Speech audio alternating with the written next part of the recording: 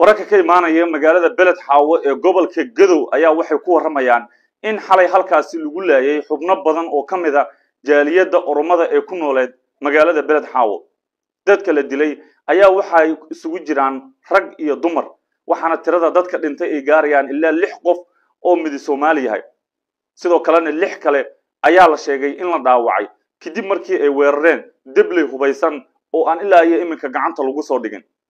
Dadka geeriyooday ayaa waxay isugu jiraan laba rag ah iyo sidoo kale afar haweena sidoo kale dadka geeriyooday mid ka mid a oo haweenaha waa soomaali halka shanta kalena ay yihiin oromo. Lix kale oo ormo ah ayaa la dhigay isbitaalka guud ee magaalada beled xaawo ee gobolka gadow waxaana la sheegay in debleydu ay ku weerartay xaafadii ay deganaayeen habeennimadii xalay saq dhexe.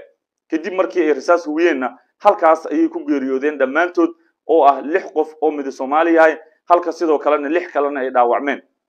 Dadka oromada ah ee la laayay ayaa la sheegay inay ka shaqaynayeen magaalada beled xaawo ee gobolka gadow xaafadaheeda kala duwan. Waxaana la sheegay in isugu jireen timajarayaal dad ka shaqeeya nadaafadda guryaha iyo hoteelada magaalada iyo sidoo kale kuwo kale oo xoogsato ahaa ama xamaalinimo ku shaqaysanaya. Laamaha ammaanka ee magaalada beled xaawo ee gobolka gadow ayaa sheegaya inay ku raad joogaan dadkaasi la laayay dadkii ka dambeeyey falkooda islamarkaana ay wadaan baaritaano dheeri ah laamaha ammaanku waxay sheegeen in maleeshiyada aan ilaa iyo iminka la garanin heybtooda iyo waxa ay yihiin intaba laakiin ay wadaan ciidamadu howlgallo joogto ah oo la doonayo in lagu ogaado cidda dadkan laysay iyo sidoo kale waxa ay yihiin. Magaalooyin badan oo soomaaliya ka mid a waxaa jooga dad oromo ah kuwaas oo ka yimid ethoobiya islamarkaana ka shaqaysta meelo badan oo soomaaliya ka mid a meelaha ugu badan ee oromadu ay joogto waa deegaanada puntland iyo somalilan gaar ahaan magaalooyinka boosaaso iyo hargeysa. Ayaa la sheegaa in badankood ay buux dhaafiyeen iyagoo halkaasi uga shaqaysta xirfado kala duwan. Dowladda federaalka soomaaliya iyo dowlad goboleedka jubbaland ilaa iyo iminka midna kama aanu hadlin.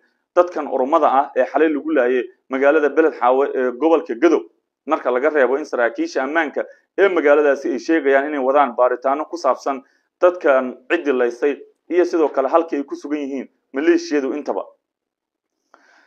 Muddooyinkii la soo dhaafay waxaa jira khilaaf culus oo u dhexeeya dowladda federaalka iyo dowladda ethoobiya oo salka ku haya kadib markii dowladda ethoobiya ay heshiis la gashay somalilan islamarkaana ay sheegtay inay doonayso inay qaadato qayb ka mid a baddeena soomaaliya. Laakiin dowladda federaalka soomaaliya ayaa tallaabadan aada uga carootay waxaana jiray muddooyinkii la soo dhaafay khilaaf culus oo labada dowladood u dhexeeya. Tan iyo heshiiskaasina ma uusan wanaagsaneyn xiriirka u dhexeeya labada dal. Sidoo kale waxaa jira baaqi ku aadan in dad soomaaliyeed looga digayay inay qaadaan tallaabooyin caynkan oo kale ah iyada oo dadka loogu baaqayay inay deganaan iyo xasilooni muujiyaan. Inta go'aan rasmi ah ay ka soo saarayso dowladda federaalka soomaaliya.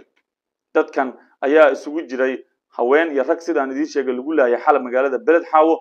Dadkii la laayay ayaa la sheegay in iminka lagu mashquulsan yahay in lagu aaso magaaladaasi halka sidoo kale kuwii dhaawac ahaana isbitaalka lagula tacaalayo xaaladooda. Wixii warara ee ka soo kordhana mar walba iyo daqiiqad kasta halkan idinkula soo wadaagayaa idinkuna aad iyo aad baa umahadsantihin saaxiibayaal haddaba sidee baad u aragtaan tallaabadan? Aragtidiina commentiga ka dhiibta muuqaalkana leeg saara oo sii sheergareeya